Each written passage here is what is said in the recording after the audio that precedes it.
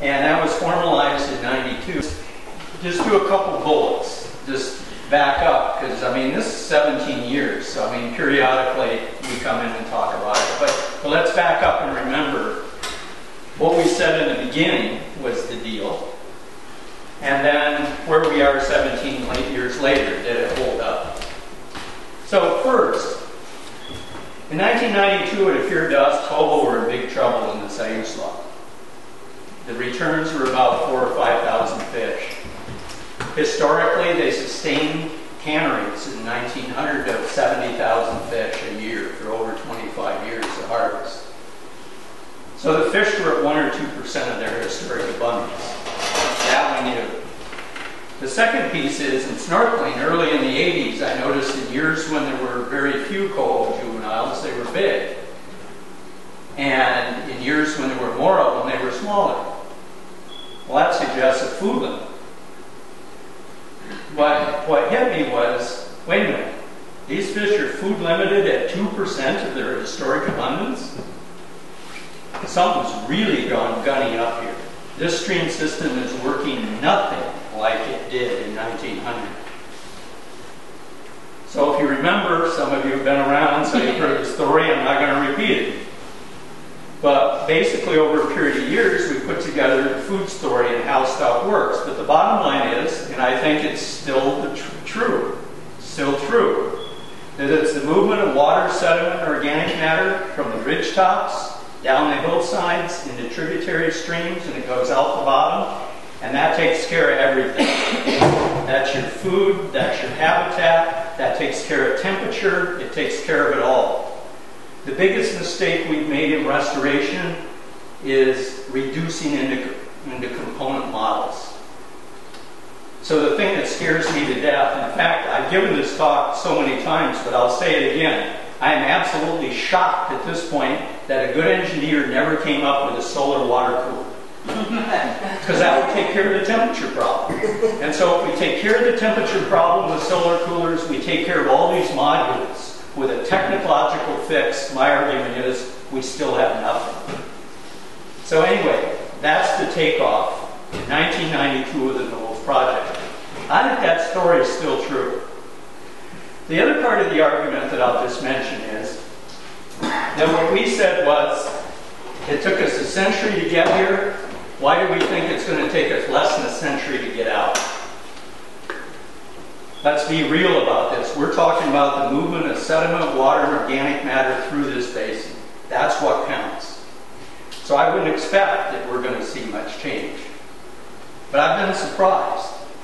Um, there has been a lot of change. Uh, and I'll talk about this uh, a little bit. But first, to put this in context, let's go back to 1900 when the Siuslaw produced these huge number of coho. And many people argue that coho, the Siuslaw was the largest producer of coho in the continental U.S.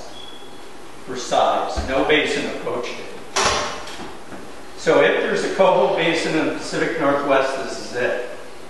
Well, how many smolts, just go back to the envelope and, you know, we know rough average survival in the ocean. How many smolts would Knowles Creek have to produce if the Siuslaw Basin all produced coho equally? How many coho would I used, would Knowles Creek have produced? The answer is 50,000. Well, we've seen 15. So that just to put that in a little piece of context to think about. Okay, now let's go to the Knowles Creek juvenile counts. Prior to 1980, fishery biologists really had no way to get a snapshot of the abundance and distribution of fish in a basin. You could electrofish, but you can electrofish about two pools a day with a crew of five to seven. And you can snorkel and count 100 to 150 a day. The bottom line is, using electrofishing techniques, no one ever did a population estimate of a creek the size of Knowles. No one ever knew where the fish were distributed before 1985. And Knowles Creek was one of the two or three basins where the method was developed to do this snapshot. So what do we see here? What we see is coho juveniles have, have been as low as 2,000, and they've been as high as over 70,000. So that's the range that we're dealing with here in the last 17 years. A couple comments about this year. That's the only year that I'm convinced the number of juveniles was caused by the number of returning adults. Why do I think that's true? In 1992, we had the of record for anybody that was around. The flow of Knowles Creek at the bottom, at the mouth, at the trap site, was one quart a minute for six weeks. That's pretty tough on a coho in the basin. Our smolt estimate going out was 200 to 400 fish, smolts. Survival is 4% in the ocean. We're talking like a dozen fish coming back. Half of them roughly got to be males, half females, so now we're down to five pairs. They come back in anywhere from October to January into March. And those fish have to not only come in at the same time, but they got to find each other in 45 miles of stream. That's pretty tough. That's a pretty tough road to hoe. But one of the stories here is, out of that year class, we got 2,000 juveniles. When they came back three years later, one, two, three, they were up to about 6,000. One, two, three, they were over 30 in two generations. There's one of the lessons. Coho respond really rapidly to good situations, good characteristic, good, good year class habitat in all the points of their habitat. Yeah. If you had 12 fish, there was a falling population, are you concerned about genetic effects at this point? Yeah, that's an argument that's made all the time uh, in all kinds of arenas. And my experience in looking at coho is this is how they've operated up and down the coast from day one. I mean, even back when they were doing the models, I mean, it's, it's really hard. You really have to work hard to drive coho to extinction and keep them out. Because darn it, they keep showing up. A pair, two pairs. And it doesn't take them long, and they can build. They're what ecologists call an R species, meaning they have high fecundity, meaning they lay a lot of eggs per, per adult. So, for example, one coho female lays about 2,000 eggs. Well, shoot, we had 2,000 juveniles in 95. That's and, and survival can be very high out of these initially, up to 80 or 90 percent in good habitat. So you can easily get 2,000 juveniles out of one redd. So we're only looking at a couple redds, probably. Um, so what do we make of this? Well, one, I mean, we do have a real shopping pattern, but we sort of saw that it, it did go up. Lots of things happened. Ocean, uh, ocean harvest was limited here in the mid 90s. Um, conditions got a little better. They were dismal in the middle 90s. But anyway, they peaked. And then it looks like the juvenile counts have headed down since about 2002 or 3. Okay, well, those are numbers. And the reason for that could be anywhere.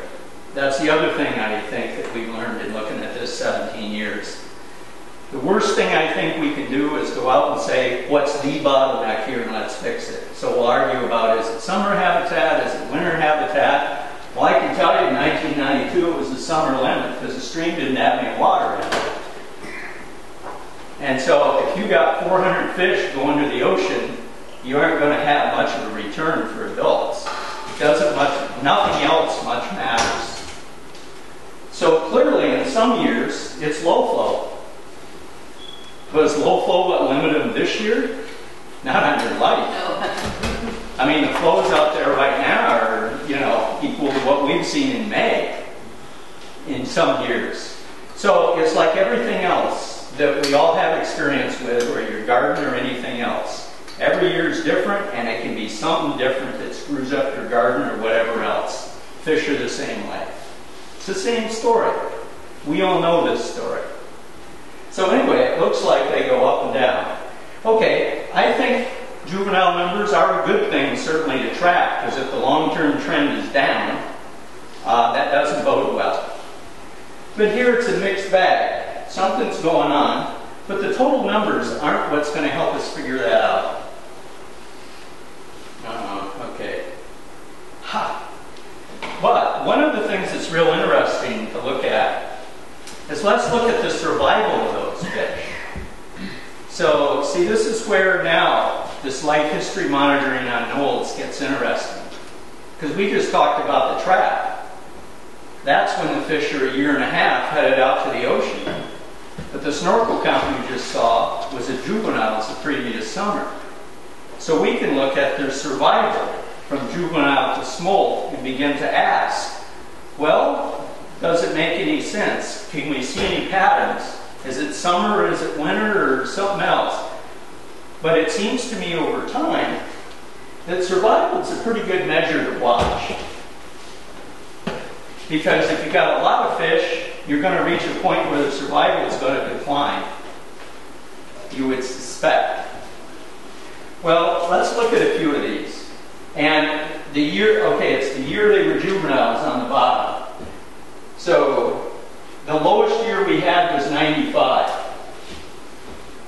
And that's one of the highest survival rates we had. Well, that makes sense. And notice that from our snorkel, snorkel count, and, and I did, uh, just for those of you who know this, I'll say it, the rest of you, it doesn't matter. But, but this is actually a calibrated count. It's not just my estimate. It's calibrated based on how many fish would actually be there. To make a long story short, I only see about three quarters of the fish. And so over the years, people have gone in and electrofished after I've done estimates. And year in, year out, it's been roughly two thirds to three quarters. So I bump these numbers of juveniles up. So these are actual calculated survivals. These aren't just from the estimates. So we're seeing in some years 30 and 40% survival. I mean, that's decent. Let's look at, uh, so 95 was a low year. Let's look at the highest year. The highest year is 2003. 2003 has one of the lowest survival rates. Okay, that's not a surprise. So some of this is beginning to make a little bit of sense. Uh, 2004 was just a little bit less than 2003. And then you'll notice actually that the survival rates in the last few years have been relatively good. So it's not survival in the streams in the last couple of years that's really been the issue. And in fact, when we had the really high years, um, the survival has been low. But there's so many juveniles, I mean 60,000, that it sort of swamps it out, so you still get a, a high number of return. But it is very interesting to look at survivals. So, because this is telling you a lot about the carrying capacity and how well the fish do. Okay.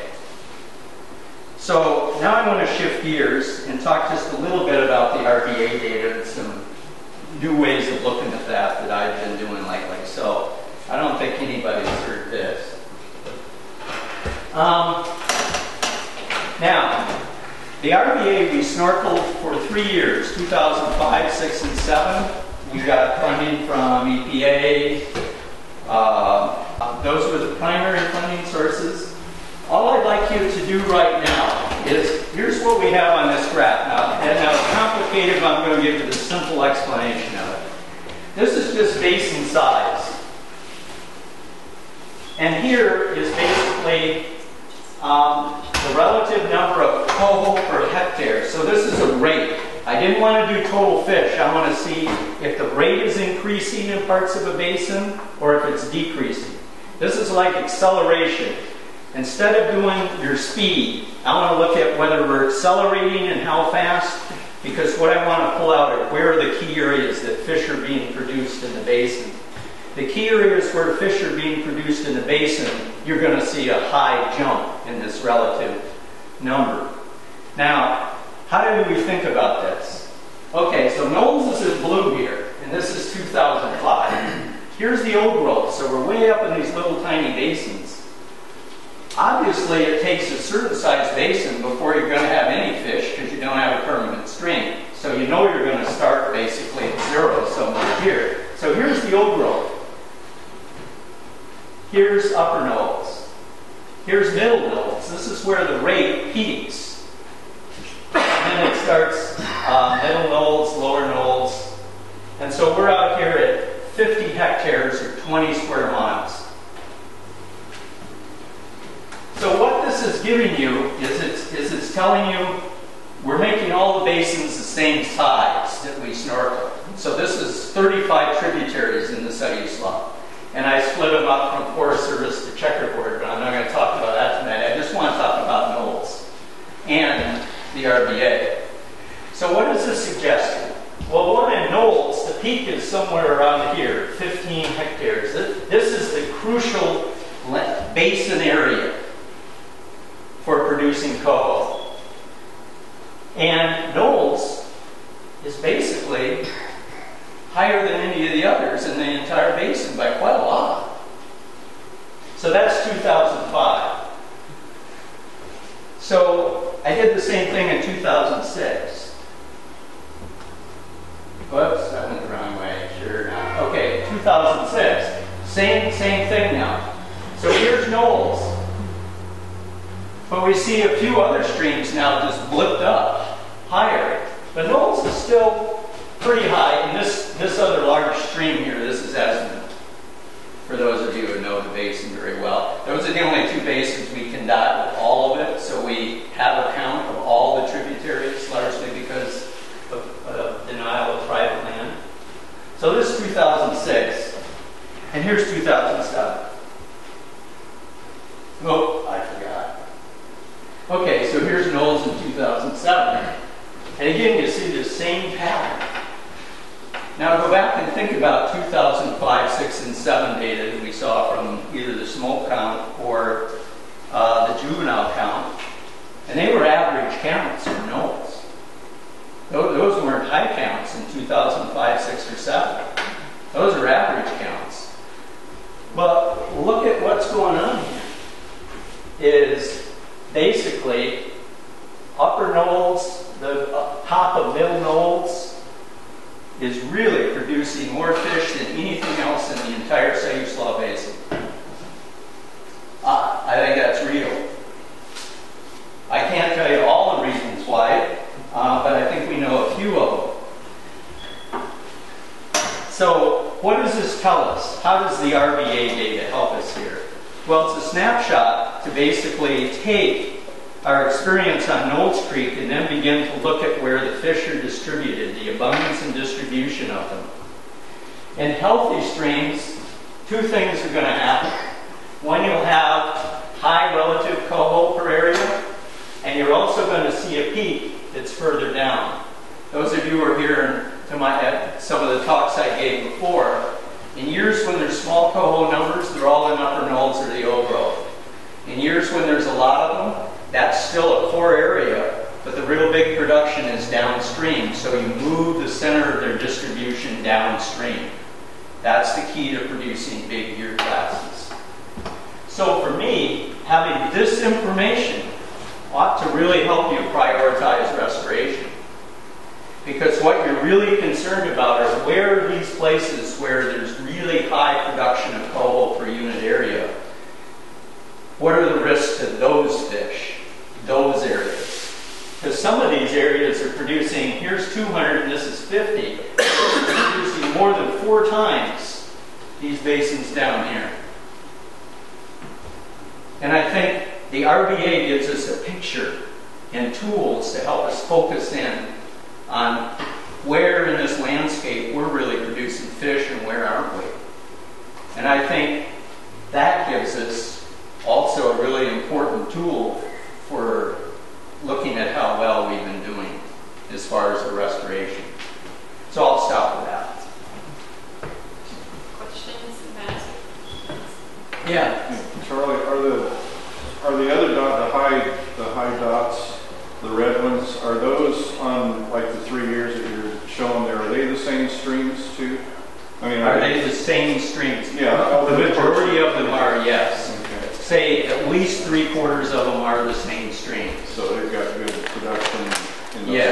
reaches, basically, Yes. so there are some. Yeah, so that story, that pattern's repeated in, in all the streams.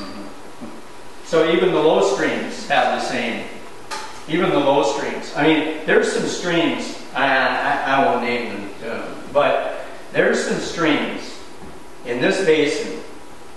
And if somebody can explain to me how they survive year in, year out, because I've been doing counts in some of these streams 20 years. But there's two streams in particular that I'll dive and go for eight miles and never count more than one coho in a pool. Now, how can that be? But they're still there. And there's one fish a pool for basically eight miles. I I don't have a clue.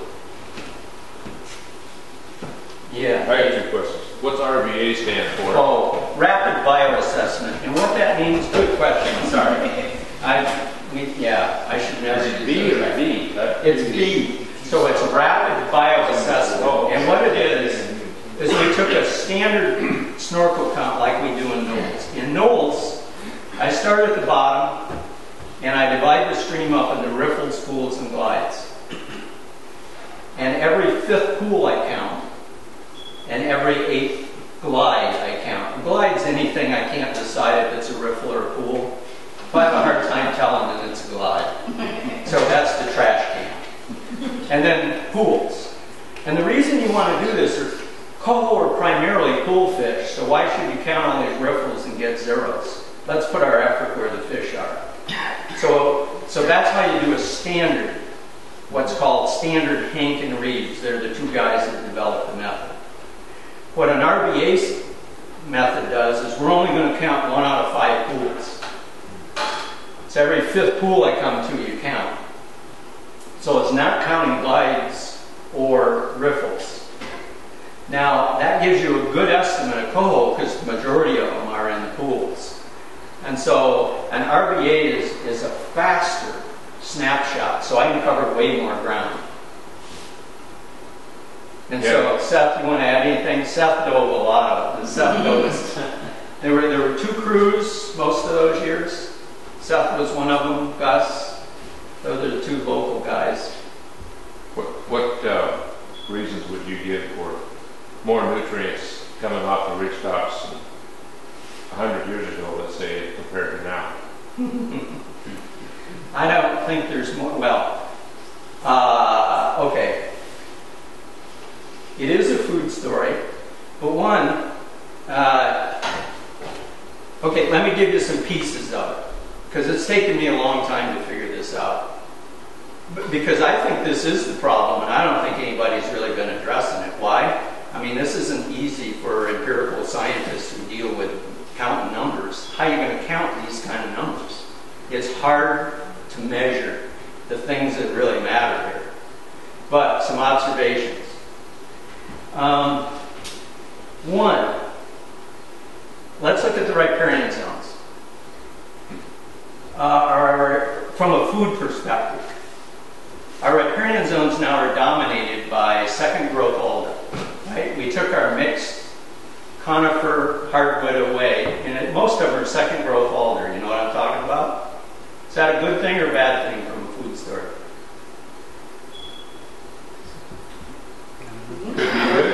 And, and you stay out of it. Ray stays out of it. Well, fastest leaf in the world. Fastest leaf in the world, that's right. Nitrogen is the limiting element here. Alders producing nitrogen. Hey, we ought to have more food than we had a hundred years ago.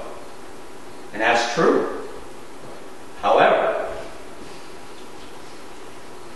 alder is the fastest leaf in the world.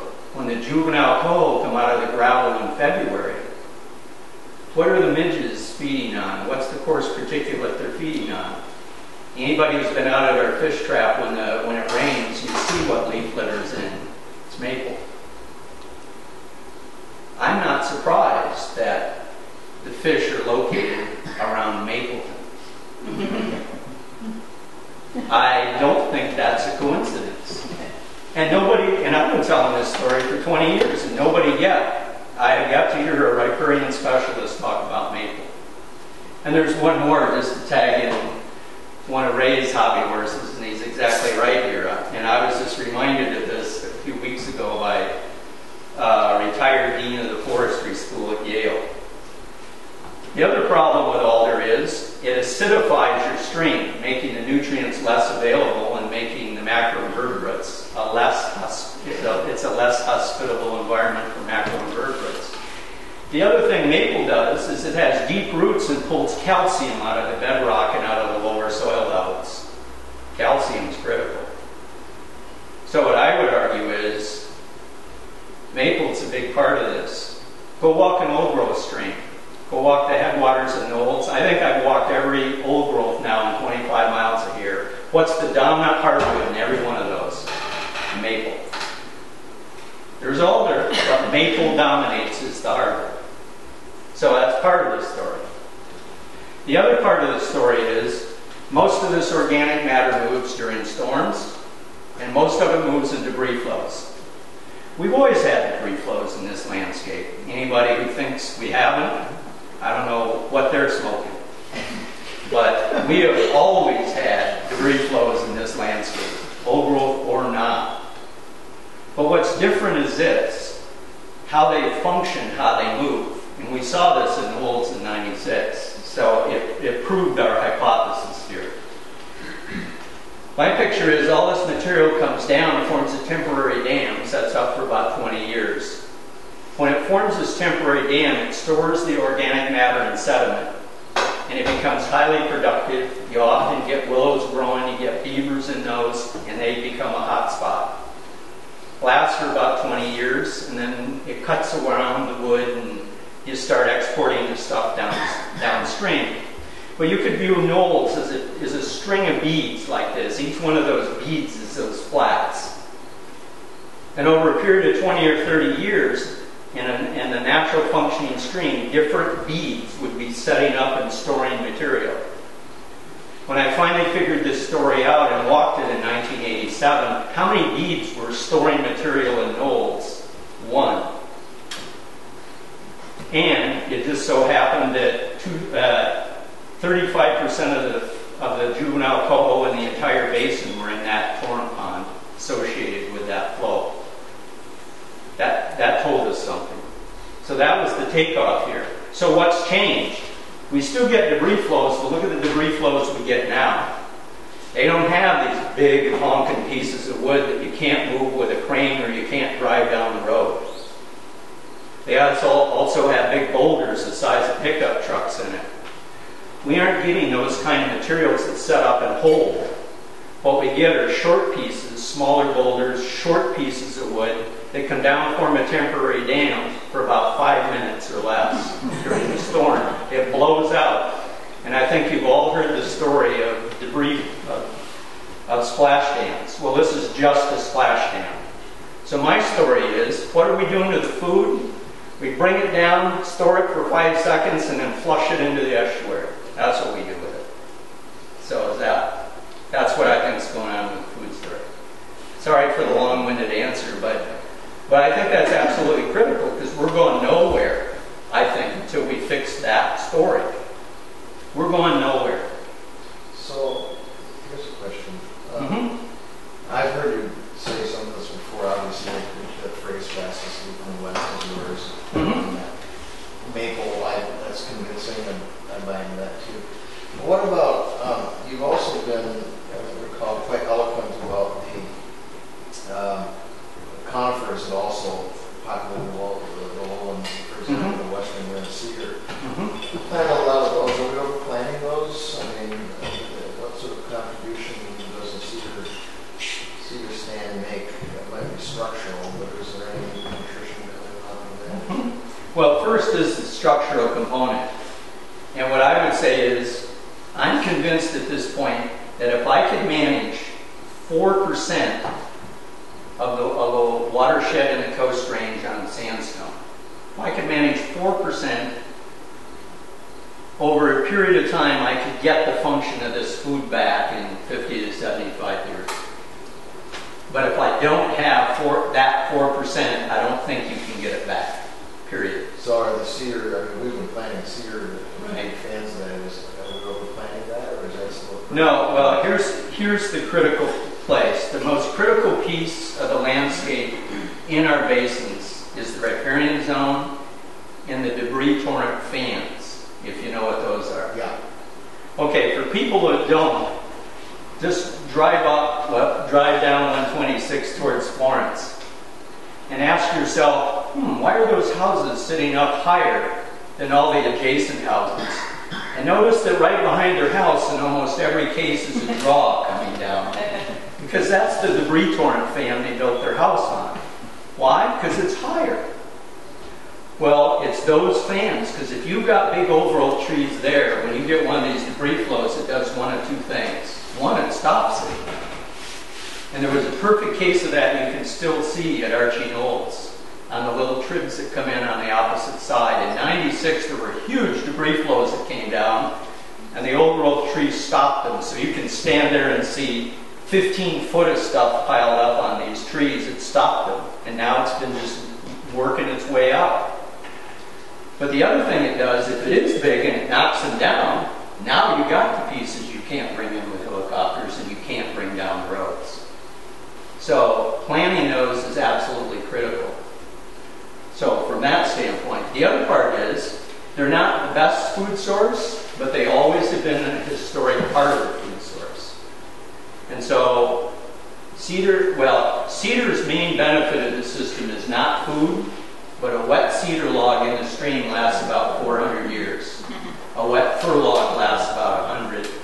A wet maple, you probably see it the next year.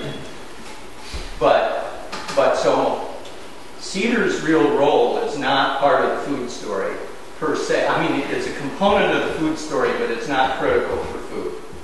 It's critical for the habitat, and it's critical for how the material moves through the basin. I like, I call it the digestive model. Let's look at how our digestive tract is actually working. We just bring it in and burp it out into the estuary. Paul.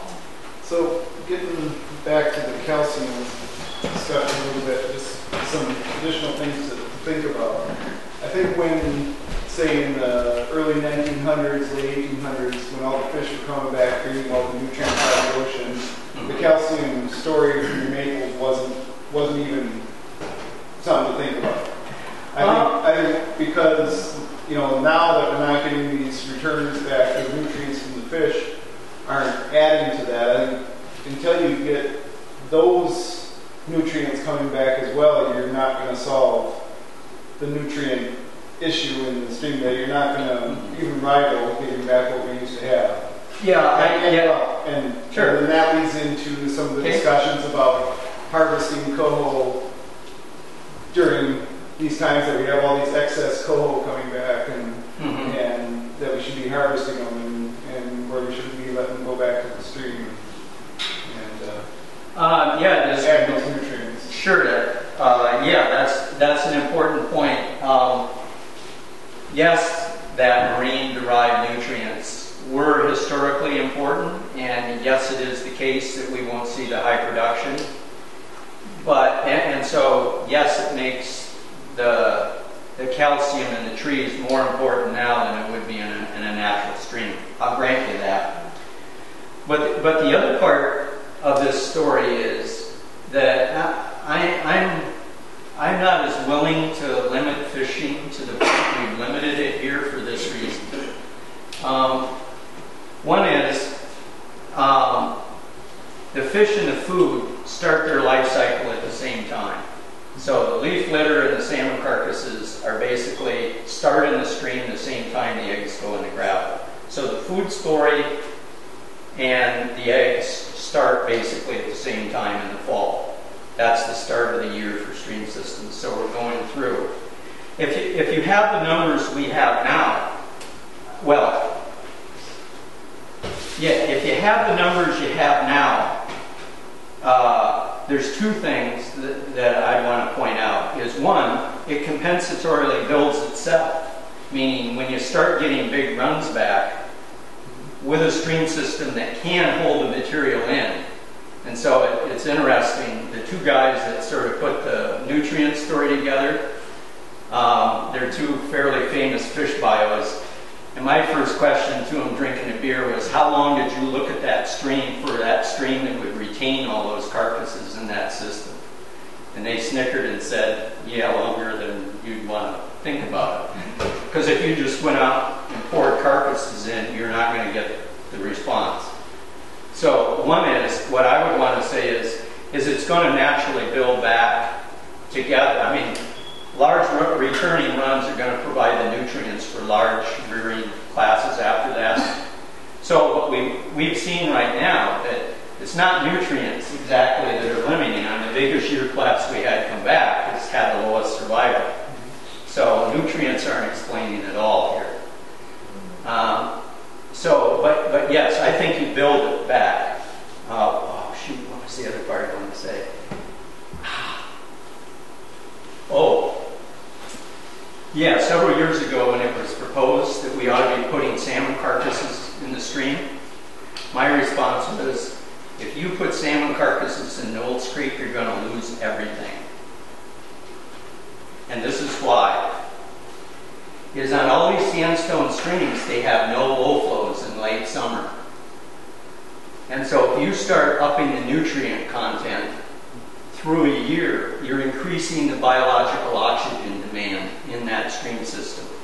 So I've snorkeled pools and Knowles where I've started at the bottom, you can sort of barely see, and I do- do this with my hands over the bottom and release the methane, and I watch the fish die right in front of my face oh. mask. That's how close they are. You put a salmon carcass or you up the nutrients in any of those ponds, you've lost everything. But don't you put them in when they normally come in, like in November? Yeah, but, but the point is, is, Yeah, is it it, it, yeah. I mean, they're not The only gonna thing, see, the only thing that, that makes it not a problem in most places is they aren't retained anyway. Most of them are just Okay. out the estuary and they don't do much. But if you put them in Knowles where we built structures that would retain stuff, if you did it in Knowles, I'd argue you could very easily lose everything we got. Simply because you're not paying attention to how these streams work and what they got the capacity to do and not do in the state they're in. Knowles could not take any more nutrients. So that's the only thing that makes me a little apprehensive about, uh, well, about given the situation we have with the habitat, um, you know, arguing that we need to up those nutrients now in order to bring the juveniles up. I'm, I'm less convinced that's true on sandstone. It might be true on basalt streams, but I don't think sandstone. So Charley, we have time for one more question. Since there's only one person signed up for open mic, I suggest we could um, roll over a little bit. Do you have time for one more question? So I saw both, I think Wesley and um, Pat first. So, You had made a comment about um, changes in the, in Knowles in 2010 when you snorkeled it this year. Mhm. It didn't seem like there was any big events that would have changed it. But can you Um, say what, yeah. what made the pools change? Well, I think most of us live in the coast range, but I'll just tell you my experience the last couple of years. Um, the biggest storm event we've had in the North Fork wasn't even in 96. Uh, my brother-in-law's lived in the same house that he has for 40 years. The highest the water's been in 40 years was on Thanksgiving, like two years ago or three years ago. The water was up on the road over his driveway, never been that even in 96. Um, the point I want to make is I'm becoming more and more convinced the longer I live here that in the coast range it's driven by small cells of high intensity. And we ain't mapping those very carefully. but in looking at stream systems, it's really clear to me that there is a really wide variety. And like I say, where I live, you can see the clouds come up and bump against, and, and it takes them forever to go over. And when they're trying to go over, it's just dumping on, on you.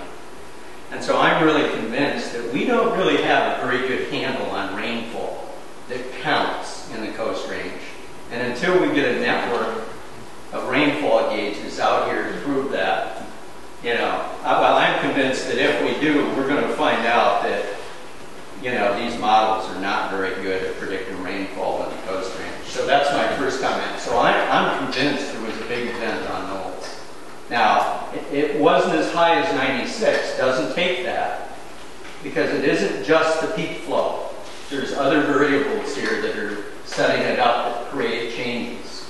So, but it was a high, it was a very high event. The things had been set up so that when we got it, we got the biggest channel changes.